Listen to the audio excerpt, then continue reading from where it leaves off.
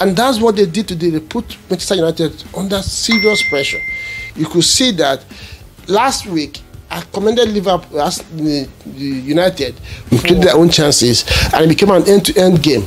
You know, both teams had chances to win this one, but uh, ended a one-one draw. That's the and difference right there from Chelsea, from Crystal Palace, from Tottenham, from uh, uh, United. The teams that are doing well currently, Manchester City, Arsenal, Liverpool, these teams work hard off the ball.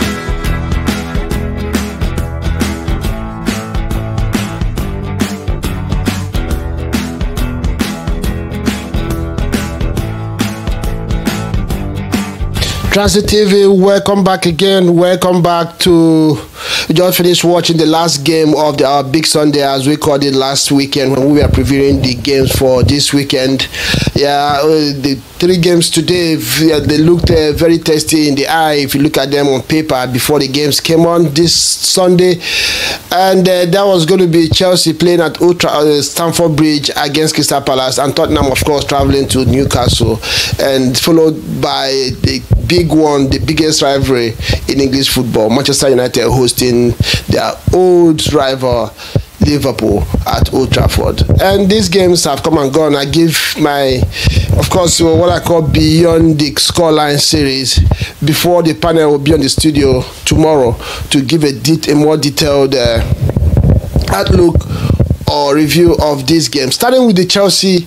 And before we continue, please don't forget to hit the like button, subscribe if you have not done so, and please share this video and help us uh, in this uh, project. So we're going to start with the Chelsea Crystal Palace game. Weekend, the last weekend, Chelsea we are on fire. They beat Wolves 6 2. And large part of that game, of those goals came in the second half. You remember the first half ended 2 2. And second half, Chelsea completely wiped out Wolves and ended that game 3 6 2. Uh, Noni Madueke getting his hat trick.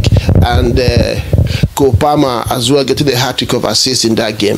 And I know that many Chelsea fans would have expected that Chelsea will continue in that in that same form this weekend. But that would, for me, that would have been a mistake because we all know that this team is a project. Is in fact the project just kicked off with Maresca, who has shown that he what he wants, what he demands, what he, he requires from his players to give him week in week out. The basic being uh, working hard for the team, and uh, of course other things, philosophy, quality will be will be added on it. Chelsea, this Chelsea has managed to assemble solid uh, quality going forward. They have about eight or six players in both wings and in the attack.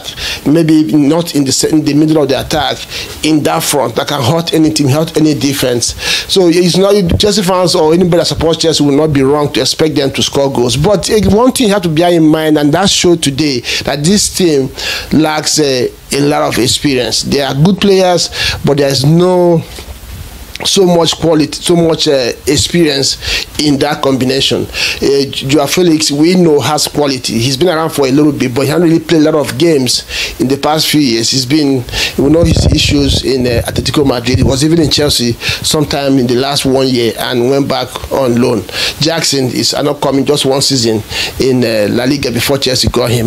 Uh, Cole Palmer joined them last season, had a brilliant, brilliant season last season after breaking out from the City uh, Academy academy. So you, you see, the Mudryk has not played the top flight football in Europe for a long time. So these are young players coming out. The guys they have the they have the, the, the ingredients to, to the, the coach needs to work with, but they're not there yet. So they're going to have these inconsistencies, and that's what we saw today. Uh, the middle culprit being the the the hero of last weekend, not the Madueke, the beginning of this game because Chelsea started this game out of the blocks quick, put uh, Crystal Palace under pressure, created a lot of chances. But uh, Noni Madueke, being a young player, expected himself to do exactly the same thing that he did last week, and we are, was selfish in some instances.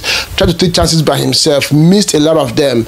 Though he created the one goal that Chelsea scored, but uh, that meant that all the chances that came begging were all the chances that they created came begging, and they couldn't convert them. And uh, Crystal Palace grew back into the game, got their equalizer, and had an upper hand. If you you are a Crystal Palace fan, you might be thinking that this was two points dropped because you know considering how the game ended because Crystal Palace grew into it, into the game, created their own chances, and it became an end-to-end game.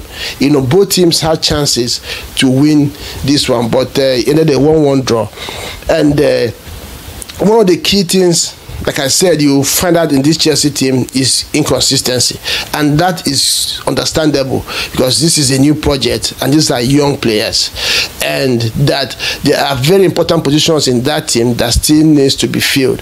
The span of that team, they still don't have an established goal scorer. Jackson got his goal today, but we know that if you if Chelsea had a better quality in that position, they would have won this game today.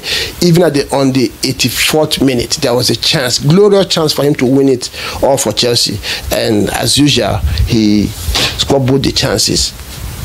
And uh, you know, so that that's the key thing for Chelsea. And secondly, discipline. Discipline in the sense of these players staying loyal to what the coach wants from them and discipline off the ball. Chelsea's players, the front players and the midfield sometimes look like they are not interested in what is going on.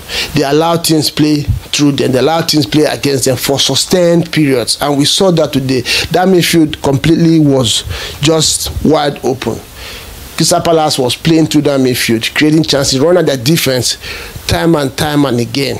So these are the two things I feel that Chelsea fans or Chelsea or Maresca should be worried about. How do I get this team understand the importance of the discipline of work.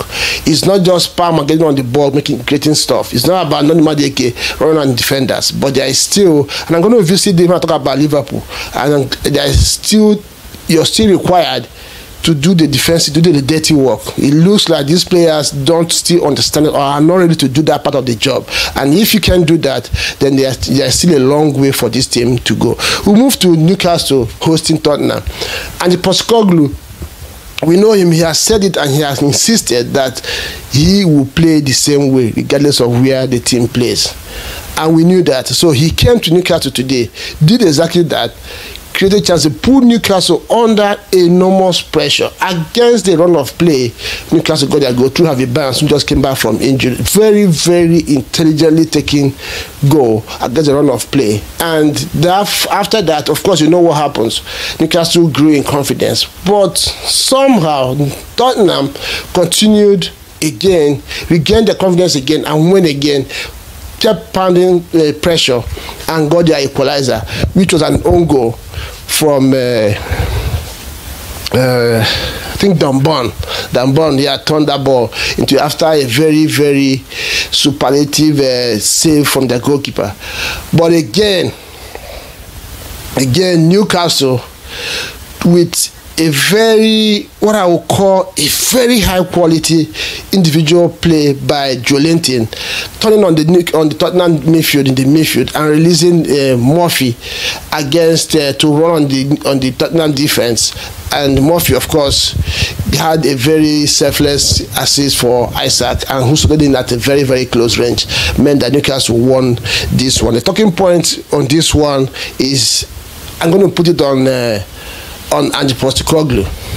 I've watched this EPL for a very long time. I've watched football for a long time to know that at this level, you have to respect your opponents, especially when you're going against the big teams. Newcastle is not a small team in England, in EPL, and the last two seasons they've they've pushed for the top four. They've made the top four, and traditionally, it's a big, it's a, it's a traditional ground in EPL. You don't go there and and open yourself up I believe that is what many uh, Tottenham to lose this game today. But Postecoglou needs to understand that nobody is against you playing, having a philosophy.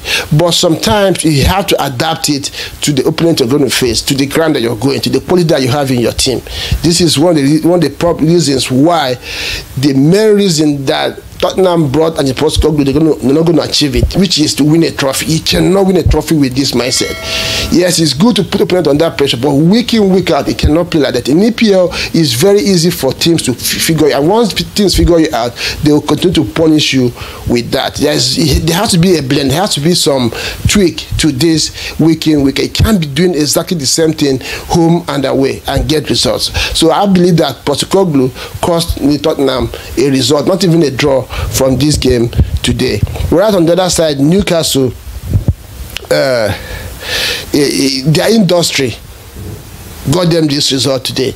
I know I've accused uh, Eddie Howe of not having a philosophy for a long time, and uh, I think he has gone back to what has helped Newcastle in recent years under him, which is their physicality and their ability to work, to suffer, and uh, try to get results, and that they did today. Then to the big one, Liverpool traveling to Old Trafford. Based on how United has started this season, one would have thought that this would be a different outcome from what we have been seeing between these two teams the last four or five seasons. The United had looked different, and if you're listening to Arne Slot this after the game, he says something that yeah, this United looked different from what he saw last weekend. And he, when he was pressed, he said that they work harder. And I've said that too. That this new this new Manchester United team, one thing you can not you know hold against them is that they work a little bit harder. They are the more they are they are, ready now to suffer more. They run more. And uh, said that today uh, as well. That that's one thing that he the difference between the United of this season and that of last season, and a little bit of their shape. But again, I'm going to put this loss to Erik Ten Hag. This is Manchester. This is Liverpool that has a very strong midfield, especially attacking midfield. Power play. You have Salah on the wings. So you cannot, you have to know how to play against them. But putting Casemiro and Kobbie Mainoo in that midfield to play against the Liverpool powerhouse of Szoboszlai, Mac Allister, and Gravenberch was a suicide mission and that is one of the reasons why United lost this game today. Talking about the game, United started very strongly, put Liverpool on, under pressure, created chances, sure, but missed a lot of them. There's no doubt about that. But as of, of course, this is normal. This is a given. This is Old Trafford. You have to respect. You have to play for the badge. You have to give the fans something to cheer about. And this is what United did. But once the game settled, you could see the difference. The structure of Manchester United was was was not good. Was not going to get them result against Liverpool. You cannot have a Mainoo and Casemiro in that midfield. They will outrun them. And you try to play from from back, which uh, Slot also said that he identified that the United are doing more this season. You, know, Liverpool is a high press team. They did that perfectly on that club, and this is one of the things that. Uh, Club, uh, and it's not did not change much in Liverpool. Liverpool still have those, those high press. It's just a little bit more conservative in possession. They are not they're not explosive in possession. But high press, they, they try to press you as high as they can, win the balls there and try to hurt you. And that's what they did today. They put Manchester United under serious pressure. You could see that last week I commended Liverpool United for sometimes beating the press and trying to go long against their opponents. Then today you refer back to trying to do what you have not perfected against a big team, against a team that does that doesn't that really sees the chance to hurt you in the team of Liverpool. So United today, for me, I put this loss on Erik Ten Hag. I have insisted that going back after a month or two the season ended and announcing uh, Ten Hag as the new as the, you couldn't continue with him in the project was a very huge mistake for United. United fans, let me know what you think. Do you agree with me on this one? I feel that United should let Ten Hag go right now. If they these new owners are serious about the project, about returning this team to where it belongs, I think Ten Hag should let go. And a new proper coach that has identity, that knows exactly what he's trying to do, to come in, and because this is what United has done in the last decade. They bring in a coach, spend a lot of money, fire him, and start all over again in the summer, as a rival fan, I was getting where United is getting it right. They made some making decisions behind the scene that looked like they were ready to go a different route. But by the time Ten Hag was announced, till now, I don't think I think things have gone the other way. A lot of people are saying it's because the players when the players come in, things will change. No, it's not going to change. If you look at where United are today and where Liverpool are, and you put two midfielders to to to match Liverpool, then you, you clearly don't know what you are trying to do. And that reminds me, I said in this video that I'm going to talk about working hard off the ball. Noni Madueke, Eberechi Eze in Crystal Palace. I was watching them today. I was so frustrated. How unserious, how unconcerned they were to work for their teams off the ball. When Slot was asked today, don't you think that keeping Salah and Diaz high up the pitch to press Manchester United was going to be it was a gamble. He said it will only be a gamble if Salah and Diaz stayed up there. But if they are able to spring back when they are played through to help the defense, there is not a gamble. And that's the difference. That's the difference right there from Chelsea, from Crystal Palace, from Tottenham, from uh, uh, United. The teams that are doing well currently, Manchester City, Arsenal, Liverpool, these teams work hard off the ball. If you don't manage to instill this discipline in your players to do that, is your your you know achieving something with your team is is way way way out there. And if you listen to his interview, they had a plan. They had studied United and they had a plan, and that plan executed perfectly. On the other hand, he watched Manchester United, it looked like a team that came on the pitch and felt that they were going to get a result. It was more of individual brilliance, individual contribution. There was not there was there's no philosophy. You can't really find out what they're trying to do. Yes, Rashford had a has flashes of performance in this game, but where is the cohesion between him and other players? What's the plan? And it it uh, keep making some of these substitutions. You're losing a game 3-0. You're bringing in uh, Maguire for the lead. I don't know what that's what that's supposed to do. How that's supposed to affect the result. You know, so I, I don't I don't think United should stay with Erik Ten Hag. I don't think so. And uh, to end this one, Mohamed Salah, I've continued to say it this guy liverpool should do everything that they can to keep this guy because it looks like everything good about who can say one to say about liverpool today about slot. Salah has remained a key factor in what liverpool are going to do going forward. You remember salah has this is his last season in his contract the same with van dijk and uh, also trent arnold. I don't know what the plans are I don't know. I know Liverpool want to keep these players. I hope they stay. If not, it's going to be a long team for Liverpool. Mohamed Salah again today shown why he is the best winger. If you ask me in the world today, maybe between him and Vinicius Junior. But if you look at the numbers, Salah is out of it's insane what this guy does. Assists, goals, and the work he does for the team off the ball as well.